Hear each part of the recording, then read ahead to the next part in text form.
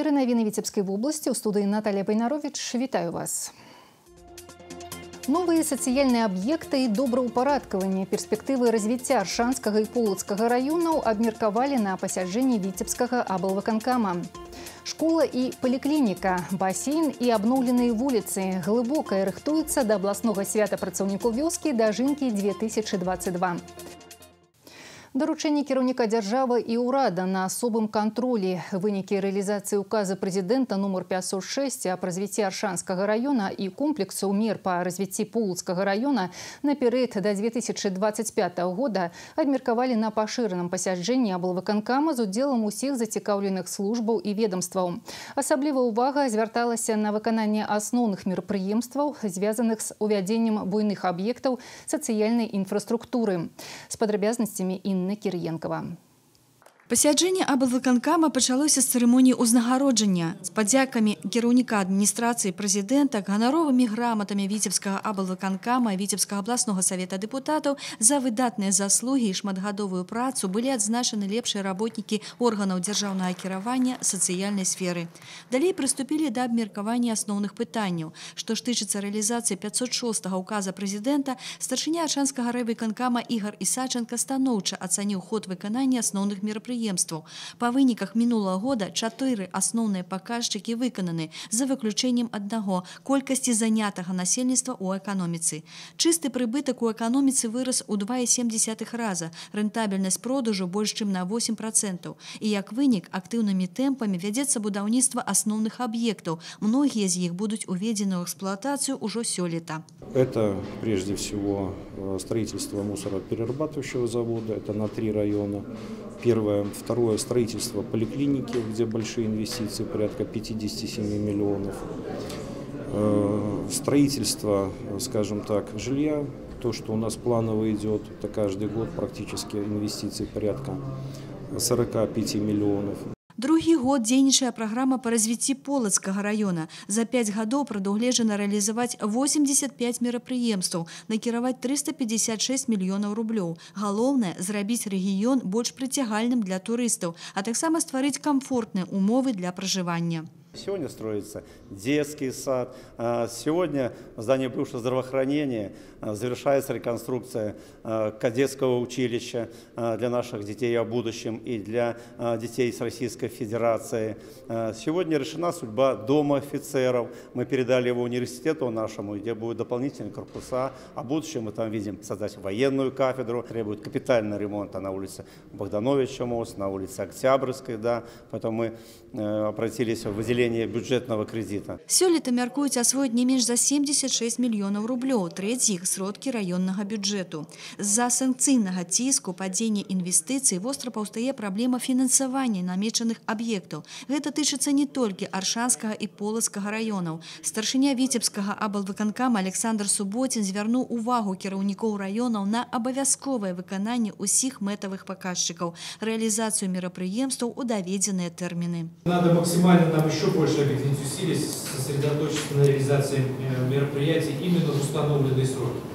В те сроки, которые, еще раз подчеркну, мы с вами планируем. Мы с вами планируем. Поэтому нужно э, однозначно их выполнить. И выполнить безапелляционно и э, однозначно.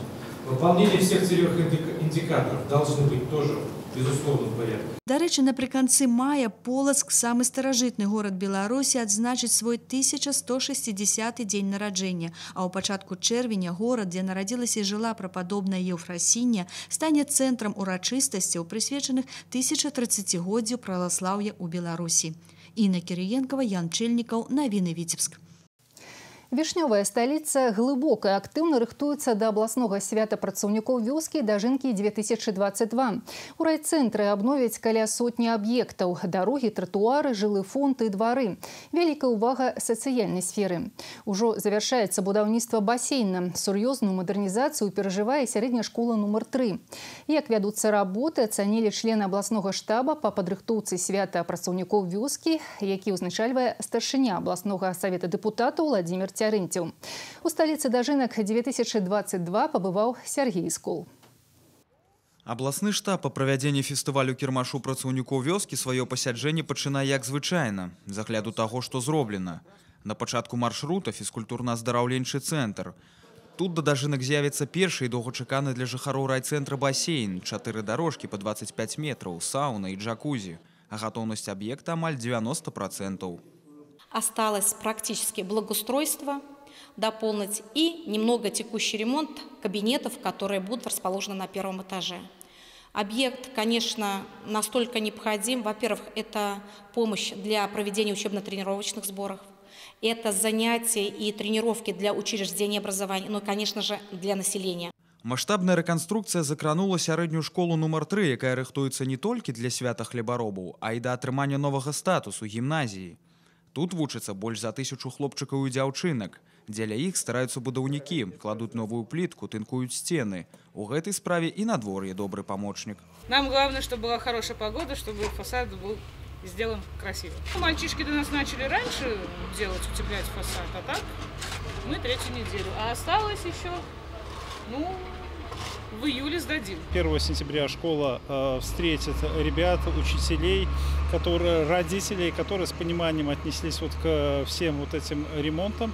Э, новой, светлой, просторной, хорошо оснащенной. Ну и, в общем-то, наша задумка по продвижению качественных э, знаний через э, э, оснащение современным оборудованием учреждения образования, она будет реализована. Абнаўленне сацыяльных аб'ектаў да дажынак, дзе б яны не праходзілі заўжды ў прыярытэце. Раённым паліклінікам асаблівая ўвага і глыбоцка не выключэнне. Тут ужо ідзе рамонт. У спісе першачарговых таксама жылыя дамы і вулічнае палатно, незабытыя месцы адпачынку. З кожным днём прыгажэе набярэжнае. По набережной на данный момент ведется у нас завершение э, тротуарной дорожки порядка 430 метров. Э, я думаю, на следующей неделе мы закончим. Ну и в планах как бы прорабатываем э, вопрос по, по финансированию строительства концертной площадки. Знешні выгляд горада мяняецца на вачах, і гэта не застаецца без увагі месцічаў. Глабачане любяць свой горад і уважліва сочаць за работы будаўнікоў і мясцовых улад. Благораживают наш город, конечно, дороги ремонтируются, это немаловажно для нас. Дома очень красиво обустраивают. Работы ведутся, это приятно, что город наш будет к дожинкам очень красиво выглядеть. Тут же красота, правда, уже, уже можно проводить. Арганізацыйныя моманты абнаўлення вішнёвай сталіцы абмеркавалі ўжо на пленарным пасяджэнні штаба. Як выконваецца графік, якія праблемы існуюць і як яны вырашаюцца. Ніводнае рабочее пытанне не засталося без отказу. В целом же все работы, которые ведутся по глубокому, они идут э, полностью э, с тем графиком, который утвержден. Поэтому у меня нет никаких сомнений, что к началу проведения дожинок все задачи, которые поставлены по глубокому, они будут все э, в комплексе выполнены. Сёння глыбока выглядае як вялікая будаўнічая пляцоўка. Прыводзіцца ў парадак дарогі, тротуары, вулічнае асвятленне. Актыўнымі тэмпамі вядзецца добраўпарадкаванне і капітальны рамонт жылога фонду. Усяго да фестывалю кірмашу працаўнікоў вёскі да жынкі 2022 абновяць каля сотні аб'ектаў. Сергей Скола, Олег Чарняк, навіны, глыбокая. Тэрыторыя дзяцінства. Фестываль творчасці прысвечаны стагоддзю рэспубліканскай піянерскай арганізацыі прайшоў у горадзе над дзвіной. Піянерыя 100 сабрала больш за тры сотні энергічных лідараў і актывістаў, крэатыўных важатых і ветэранаў руху, а таксама сяброў з іншых арганізацый. З векавым юбілеем прадстаўнікоў самага масавага дзіцячага аб'яднання краіны павіншаваў кіраўнік вобласці Александр Суботін. Завіталі на святочны канцэрт і юныя госці з рассіі. Вы первые должны быть во всем всегда, и именно на вас мы полагаемся. Вы потом будете лечить, учить, строить корабли, строить машины, растить хлеб, заниматься наукой. Именно вы сформируете ту большую, успешную страну, в которой мы живем и в которой будем жить. Я уже на втором таком подобном мероприятии была на главном фестивале, который проходил в Минске. Сейчас это тоже довольно масштабно, очень много детей, а, много разных интерактивов. Пионеры — это современное движение, которое а, развивается, оно дает новые плоды. Очень много сейчас вступает пионеров. Завяршылася святочнае мерапрыемства на ўрачыстай ноце. Лепшыя піянеры віцебшчыны атрымалі ў гэты дзень заслужаныя ўзнагароды. До юбілею десантніка нумар 2 у Вітебску ушанавалі памяць генерал-лейтенанта Івана Івановича Лісава. У гонар 110гадовага юбілею знакамітага ўраджэнца Вітебска ля помніка дэсантнікам усіх пакаленняў адбыўся мітынг. Прадстаўнікі ўлады і грамадскіх аб'яднанняў, вайскоўцы 103 асобнай гвардзейскай мабільнай брыгады, ветэраны, студэнты і школьнікі усклалі вянкі і кветкі. Прысутнічалі на ўрачыстасцях і родныя генерал-лейтенанта. Узгадвалі справы легендарных легендарнага дэсантніка і яго ўклад у стварэнні развіццё паветрана-дэсантных войскаў. Менавіта дзякуючы Івану Івановичу Лісаву у крылатай пяхоты з'явіліся свае сімвалы блакітны берет і цяльняшка. У свой час намеснік камандуючага ПДВ шмат зрабіў для стварэння прынцыпова новай сістэмы баявой падрыхтоўкі дэсантнікаў. У самы бліжэйшы час у віцебску з'явіцца мемарыяльная дошка у памяць пра знакамітага земляка.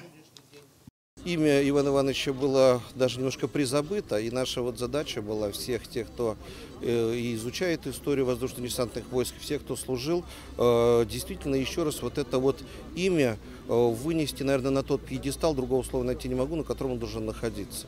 Поэтому, наверное, не случайно, и вот несколько лет назад мы установили памятник десантнику на все времена, где выбиты сегодня и э, барельефы и Лисова, и Маргелова. Ну и, конечно, сегодня в день его 110-летия решили собраться. Когда я в детстве почитал книгу «Избранницы неба», про женщин-парашютистов. Конечно, восхитился э, десантными войсками, братством десантным, прыжками парашютными. И, наверное, с этого момента стал мечтать о том, что десантные войска – это моя судьба. Наши военнослужащие, солдаты срочной военной службы, службы э, учатся на истории э, воздушно-десантных войск и вдохновляются героизмом наших предков, вот таких вот замечательных представителей, как э, генерал Лисов, У віцебскай абласной бібліятэцы адкрылася выстава, прысвечаная генерал-лейтенанту Івану Івановичу Лісаву. Чалавек улюбёны ў неба. У экспазіцыі кнігі, яго аўтарства і артыкулы пра легендарнага дэсантніка, які, акрамя ўсяго, быў яшчэ членам саюза пісьменнікаў і саюза журналістаў, а таксама кандыдатам гістарычных навук. Падрыў пустуючага будынка і ліквідацыя наступстваў надзвычайнай сітуацыі. Супрацоўнікі МНС праводзяць комплексныя вучэнні ў Наваполацку. Першым этапам стаў падрыў старога будынка на тэрыторыі вучылішча алімпійскага рэзерву. Для гэтага спецыялістам аварыйна-ратавальнага атрада Віцесь спатрэбілася 55 кілаграмаў выбуховага рэчыва. Затым ратаўнікі адпрацавалі ліквідацыю наступстваў надзвычайнай сітуацыі ў раёне разбуранай пабудовы, пошук людзей пад заваламі дапамога пацярпелым, лакалізацыя ўзгарання, умацавання канструкцыі. У комплексных вучэннях МНС задзейнічаны звыш 70 чалавек і больш за 30 адзінак тэхнікі. Акцент делается на те различные чрезвычайные ситуации, которые могут возникать. Это дорожно-транспортные происшествия, это аварии химически опасных объектов на железнодорожном транспорте, также порыв э, газопровода, который по задумке привел к разрушению целого общежития, где задействованы силы и средства города по поиску людей, по минимизации последствий э, ЧС. Также мы отрабатываем в целом всю систему. Будет отработана система оповещения всех граждан в случае необходимости эвакуации граждан из зон возможных чрезвычайных ситуаций. Падчас комплексных вучэнняў МНС практычна адпрацоўваюць усе дзенні пры ўзнікненні надзвычайнай сітуацыі. Пры гэтым ратаўнікі ўзаемадзейнічаюць з органамі кіравання горада. Такія трэніроўкі праводзяцца раз у 5-7 гадоў. Выпуск навіна гэтым завершаны. Я з вами развітваюся. Дзякуй за ўвагу і да сустрэчы.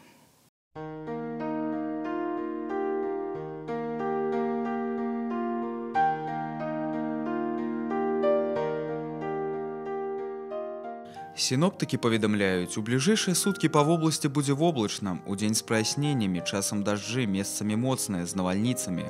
Вецер паўднёва-заходні 4,9 метраў за секунду, парывы да 14 метраў за секунду. Тэмпература паветра ноччу ад плюс 7 да плюс 12. Удзень слупкі тэрмометраў пакажуць 16-21 градус вышэй за нуль.